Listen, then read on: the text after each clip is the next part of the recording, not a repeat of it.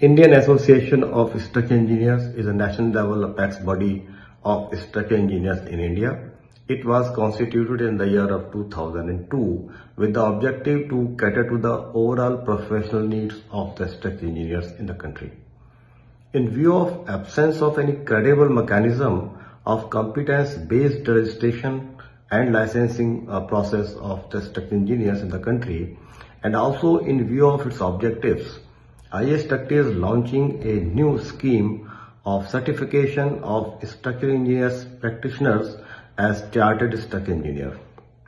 After successfully qualifying a three-stage process consisting of interviews and comprehensive written examination uh, process, they shall be entitled to use the style and title of Chartered Structural Engineer IA. It will help the structural engineers to set a benchmark of proven technical and professional excellence and raise the level of structural engineering practice in the country.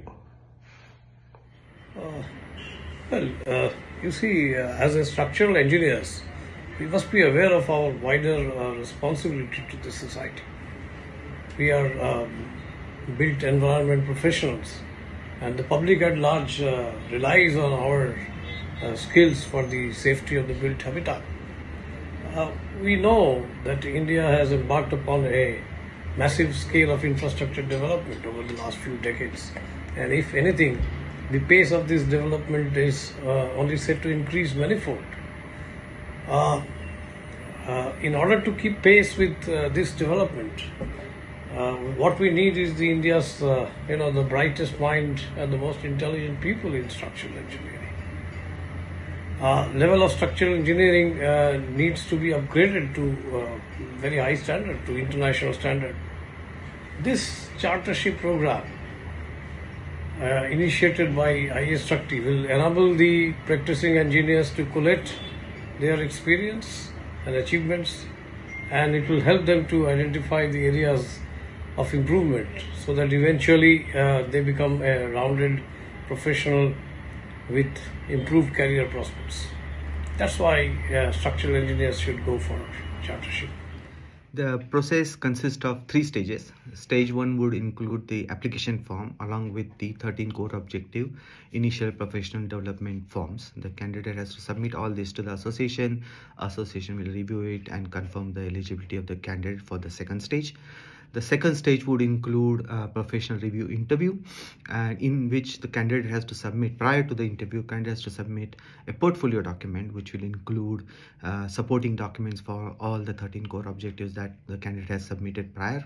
Uh, and then the interview will be conducted by peers and passing of interview is about two hours and passing of interview is, is, is uh, important or critical before the candidate goes to the third uh, stage. And third stage will include an uh, written exam. It's an open book exam. Candidate will be provided with uh, set of questions candidate has to consider only one question and you know all the sections of that question. Uh, it's about seven hours uh, and in addition to that you'll have a 30 minutes lunch break. And passing of exam passing of uh, uh and an interview is mandatory to be considered as the chartered structural engineer IA Struct So who can apply for this process of accreditation? The basic requirement is he should have a bachelor's degree in civil engineering which is recognized by AICTE that is All India Council for Technical Education. They should have at least five years of a relevant professional experience in the field of structural engineering. The experience should be such that she or he should be able to demonstrate and convince the reviewer that they meet the basic requirement of a 13 core objectives through the IPD documents they submit. And the most important is the candidate should be willing to develop herself or himself throughout their uh, professional career and committed to the profession.